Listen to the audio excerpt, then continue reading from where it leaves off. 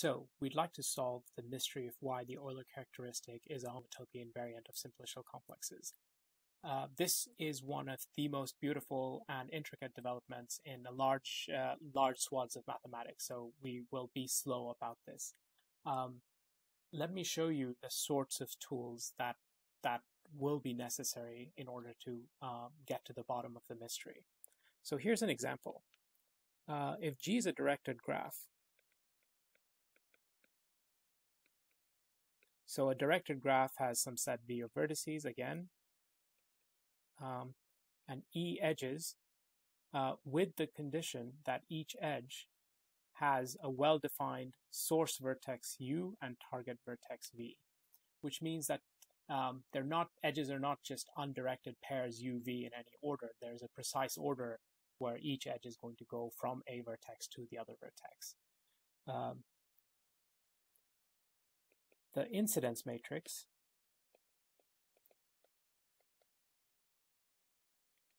Of such a graph is given by um, so you have all the edges here. So the columns have edges. And the rows have vertices, so these are just labeling the, I don't know, n. Um, and so the question is, what goes here? Uh, so if you have vertex vi and edge ej, then what goes here? Let's label it with a big fat star. So star is minus 1 if um, if E has the form VI and then E is going out to something else, it's plus 1 if uh, E is coming into VI and it's 0 otherwise. So it's just a matrix filled with 0, plus 1, or minus 1. You get a minus 1 if the vertex in the row is the source of the edge in the column. You get a plus 1 if it's the target. And otherwise, if they don't touch at all, then you just get a 0. So a quick, uh, so if G is, I don't know, 1 to 2, 2 to 3, 1 to 3, and 4 to 5 to 6. So there are these two pieces. Um, then the matrix we get for this, it's going to take a while to populate, but let me tell you some of the entries. Um, so the edges go on top. So what are the edges? There's 1, 2, 1, 3, 2, 3, 4, 5, and 4, 6. Um, and the vertices are 1, 2, 3, 4, 5, 6.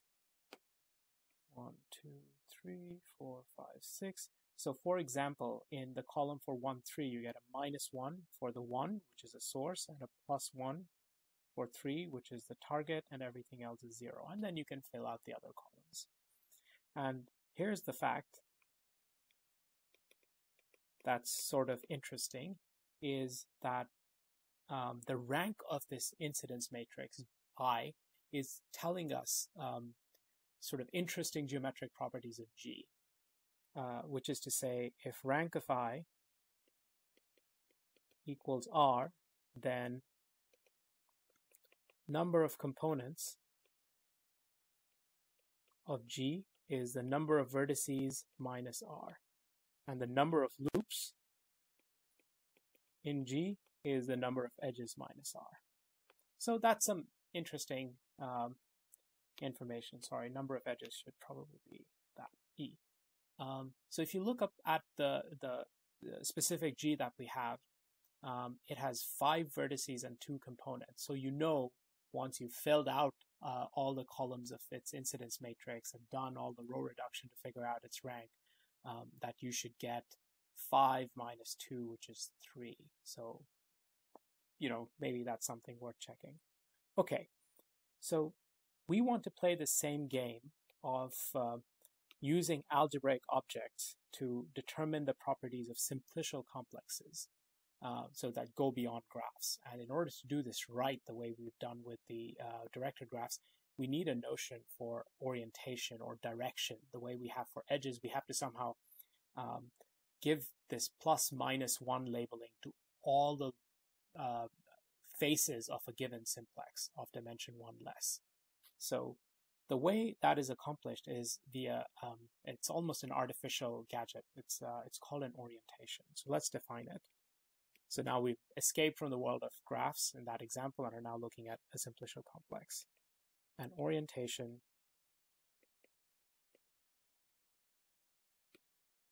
on a simplicial complex K is an injective function which I'll call O. It starts from the vertices of K, which we've called K0 in the past, to uh, the natural numbers.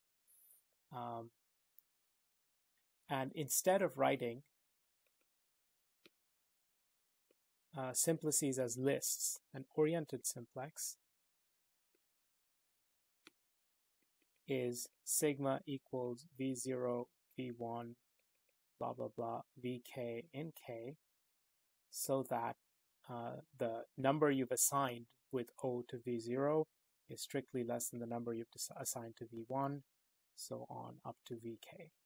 Now, all this is doing is instead of letting you write a simplex as an arbitrary sort of a set of vertices with no specific reason that one element of the set should come before the others, it's imposing a sort of strict ordering on all of the vertices of a simplex. And this might seem like, okay, artificial. Why do you have to decide which vertex comes before which other vertex? Well, that's exactly like deciding which of the um, vertices of an uh, edge is the source or the target. So this is a structure that's going to help us build matrices whose ranks are going to tell us something important about the simplicial complex. So we should be a little bit patient and, and just keep going. Now, okay, so once you have an orientation, um, you're able to precisely label the, the uh, faces of uh, an oriented simplex. So if sigma is an oriented simplex, which is clearly uh, of dimension k because it has k plus 1 vertices the way we've written it, then its ith face. Um, and now this is what we're defining. And I'm going to write it sort of suggestively as sigma sub minus i. Uh, so this is the oriented simplex. Um, where you write down all the vertices of our sigma and then discard the ith one. So the things to check are A, this is a k minus one dimensional simplex. Of course it is. It has k vertices in it. And the other thing to check is that this is also oriented. Well, the, we stuck out one of the simplices, but we never changed the orientation uh, imposed order. So this is still an oriented simplex. This is a well-defined map now is where the algebra is just going to sneak into the story and we're never going to get rid of it again. So this is where topology becomes algebraic. It looks like almost nothing is happening, but it's sort of this insidious um, step. Uh, so here's part A, B. Um, the algebraic, so pick a pick some place where you have coefficients. So let F be a field. Um, and so typical choices are uh, the field of rational numbers, the field of real numbers, uh, integers modulo uh, prime power. Um, I don't care which one, just pick your favorite field from uh, abstract algebra. Um, the boundary, the algebraic boundary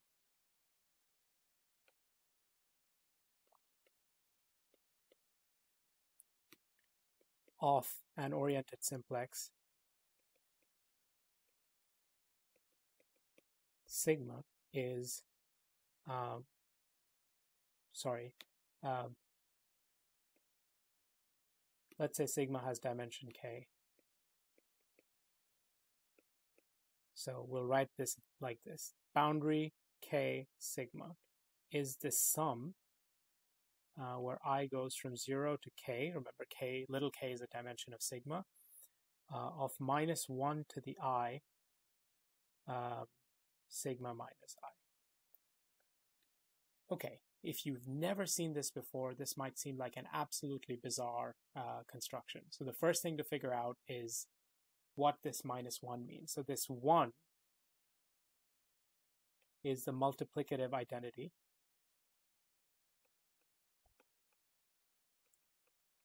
Of f. So what we've done is that we've taken a k-dimensional simplex and spit out a plus minus 1 combination of all of its faces of dimension 1 less. Um, if you'd like to see examples of um, of this, I mean, we'd have to fix an orientation, but let's assume for the purposes of being uh, coherent that um, the orientation is based on vertex labels. So uh, let me give you an example or two. So if you have the solid one simplex, um, then the boundary, then the algebraic boundary of the top cell 0, 1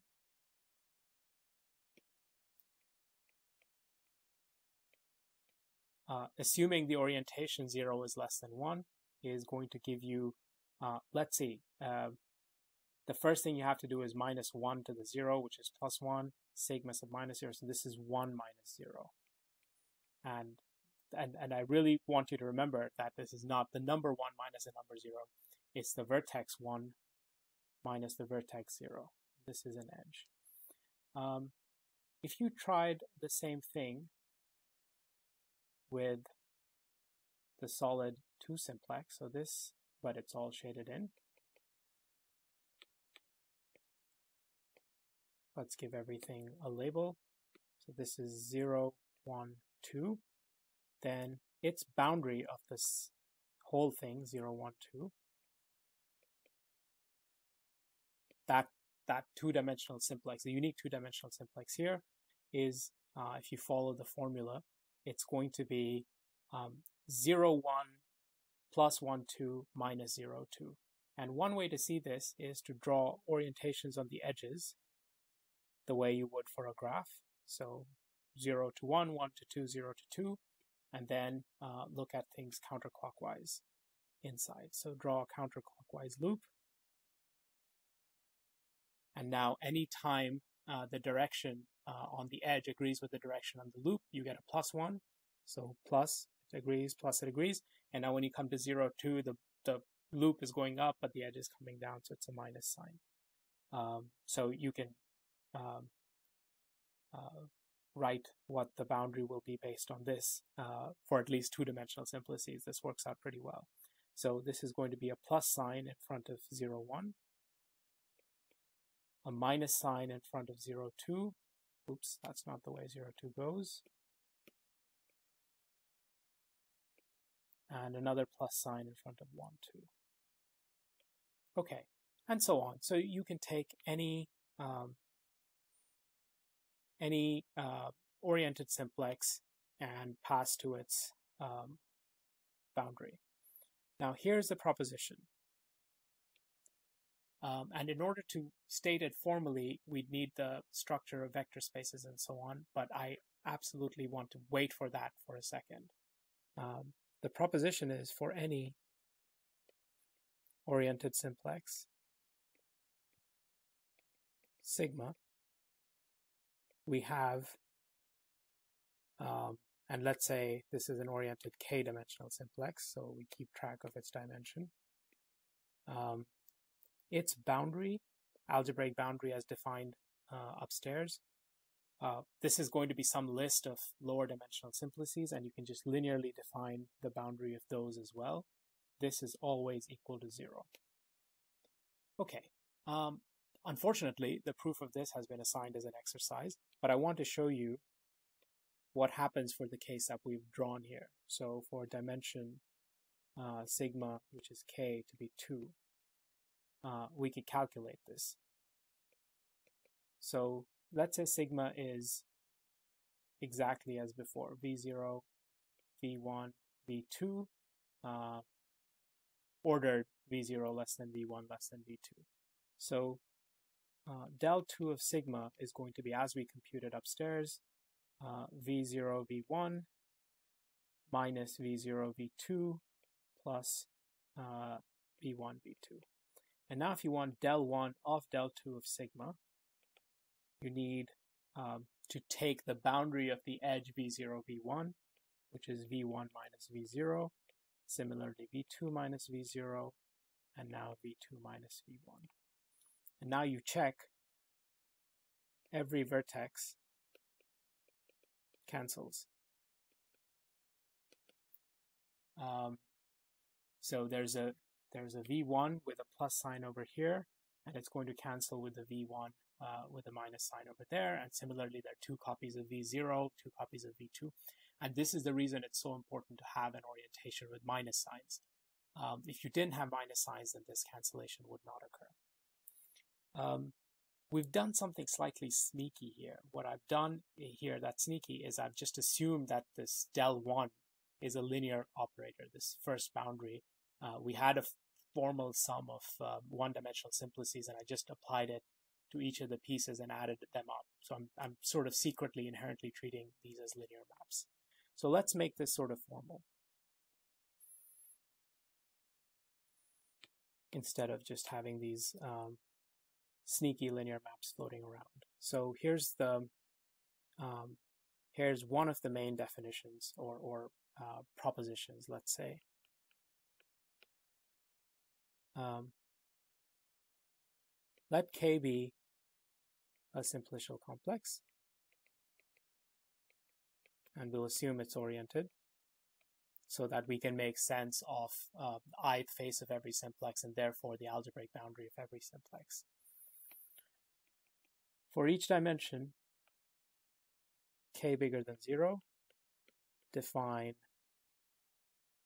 uh, two things. The first one is ck of k, which is all f linear combinations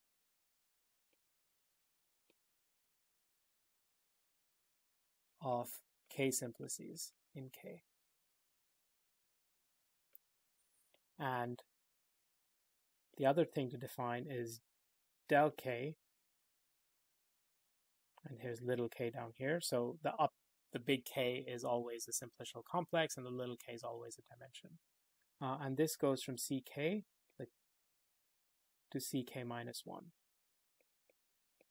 Um, so this is called the chain group,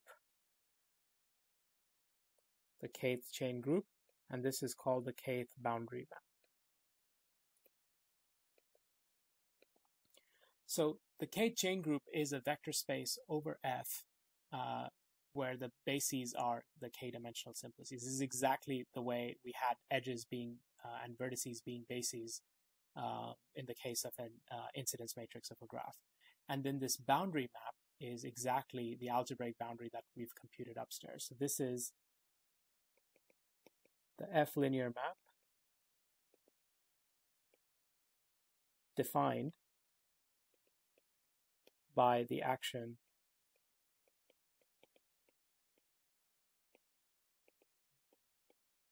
where every simplex is sent to its algebraic boundary. And now you realize that this algebraic boundary that we defined upstairs, where is it? Here it is. Um, this is always a linear combination with f coefficients of simplices, so it's definitely a linear combination of basis elements of ck minus 1. And so we've got a recipe for taking each basis element of ck and spitting out um, this linear combination of uh, so a basis element of ck minus 1. So therefore, this forms a linear map. Um, and the magic property is uh, based on the previous uh, proposition is that any time you take del k and del k minus 1, this is always going to be the zero map from C k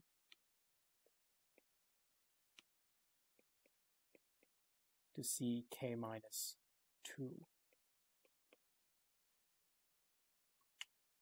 Okay, um, good. Now, this k to k minus 2 might start bothering you. It does bother me a little bit. So what we're going to do is make it nice and symmetric around k. So this can be just re-indexed so that this is k plus 1. And instead of k minus 1 over there, that's k. And now what's nice is that this map is going to go instead of from k to k minus 2, it's going to go from k plus 1 to k minus 1. And that sort of uh, uh, makes everyone feel better about symmetry around k. Okay, um, there's an equivalent way of saying this. Um, del k composed with del k plus 1 gives you 0, um, which is to say uh, that the kernel of del kk contains the image of del k plus 1. There's no difference between those two uh, statements. Okay, and now we can end this lecture with the main definition. This is what we've been leading up to. Um, we started with a simplicial complex. We imposed an orientation. We just used that orientation to assign plus and minus labels to faces of every given simplex. And then we checked with a calculation that when you composed boundary of boundary, you always get zero.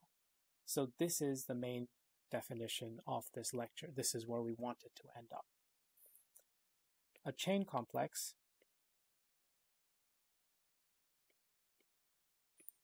Over the field F is a pair.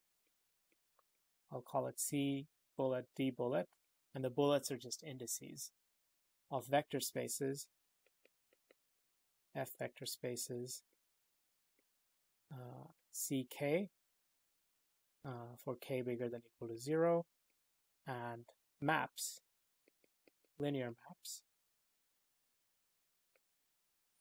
uh, dk going from ck to 1 degree lower, ck minus 1.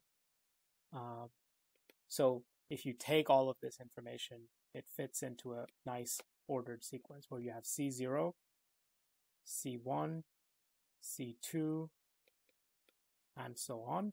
Uh, and you, by convention, add 0 there. So the linear maps are, this is D0, D1, D2, D3, and so on. And you go all the way up if you like. Um, satisfying dk plus 1 dk, that composite is 0 for all k. So we are able to produce this purely algebraic object. It's just a whole bunch of matrices um, connecting uh, linear spaces, uh, sorry, vector spaces. And we're able to construct this for any simplicial complex. And in the next lecture, we will study properties of these chain complexes in order to understand what they know about the simplicial complex.